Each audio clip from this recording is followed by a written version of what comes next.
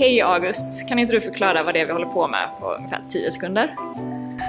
Vi ska bygga ett imaginarium. En plats som är dedikerad till fantasi. Spännande.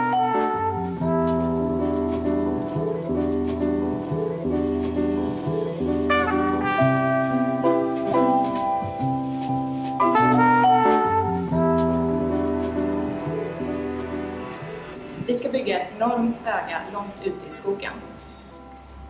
Konstnärer från hela världen kommer att samlas för att skapa en helig plats för fantasi, vishet och forskning. Vi kallar det ett imaginarium. I en värld av ökad nationalism, fake news och hat så vill vi kämpa för det sköna och det sanna. Men vad är sanning? För tusen år sedan var jorden platt och vilade på en stor orm. Idag är den rund och en del av ett eh, enormt system. Vad kommer den vara om ytterligare tusen år?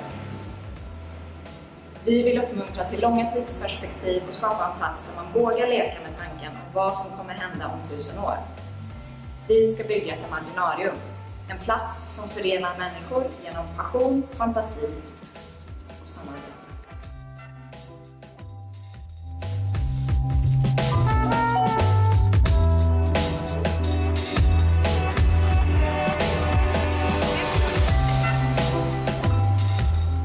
Jo, här på väggen har vi alltså börjat rita hur det skulle kunna se ut.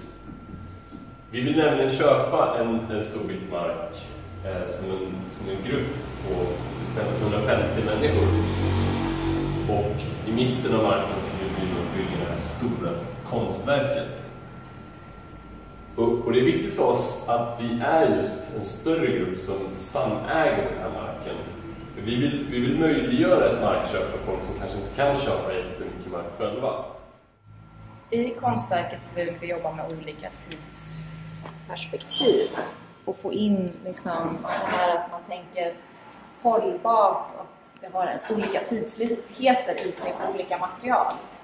Så att man jobbar med sten som har en liksom, som kommer kunna stå i tusen år medan an, andra material som läggs till är sånt som är mer organiskt, sånt som att vi liksom tänker in den ständiga transformationen.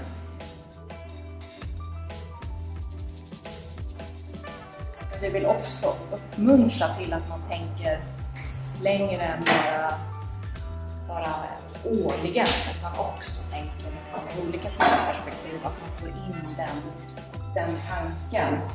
Att man jobbar med både liksom tar in naturens olika skiftningar men också hur olika material förändra sig med tiden och hur kan olika organismer börja bebo platsen